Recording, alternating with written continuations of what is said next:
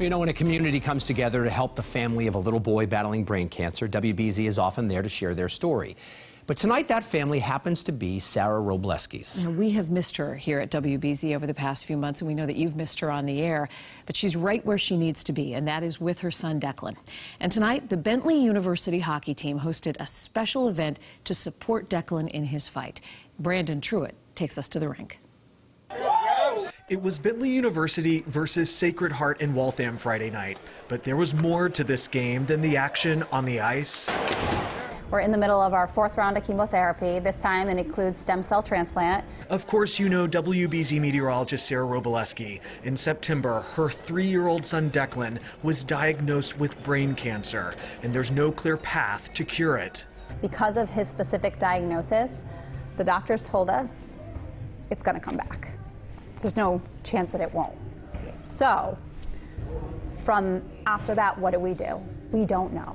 But despite that obstacle, this kid is a warrior and he is pushing through and he is fighting. Sarah, along with her husband Bobby, have been rotating shifts at Boston Children's Hospital. It's where Declan has spent most of the last five months. He's lost some of his voice, hearing, and hair due to the chemo, but there have been a few moments of levity along the way. Bobby shaved his head in solidarity with his son. Declan was able to come home for Christmas. And then there's what happened Friday night.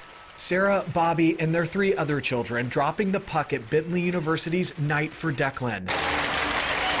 The man of the hour not well enough to attend, but there were so many thumbs up for Declan. It's incredible, isn't it? Their strength through all of this. But they say it's nights like tonight that really make the difference when the community shows up.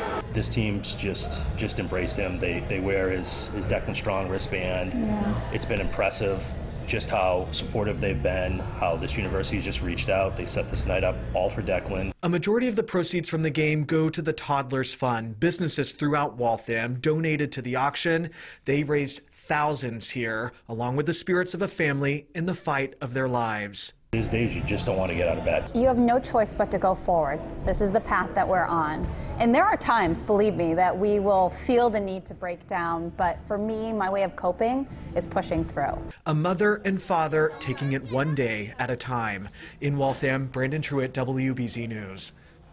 Incredible community and uh, incredible family. Declan is a warrior, as Sarah said, but mom and dad also warriors. I mean, they clearly set the tone, and to see people rallying around them, to give them a night like this where they can feel that love and also just feel some joy um, is a real gift. And we can't wait to see Sarah back here again. We love your family. thumbs up for Deck. Thumbs up.